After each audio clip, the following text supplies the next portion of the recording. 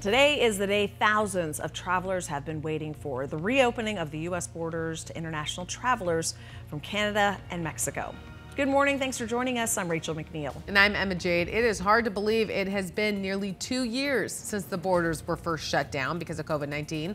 But now it looks like those days have officially come to an end. Yeah, Team 12's Adriana Loya is live this morning from a port of entry in Nogales where travelers began crossing a minute after midnight. Adriana?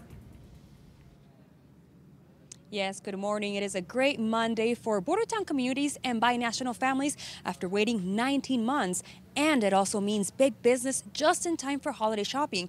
Crossing a port of entries like this one will now ha have a pre-pandemic flow of traffic. And as you can see right now, all lanes for travelers in cars and even by foot are open.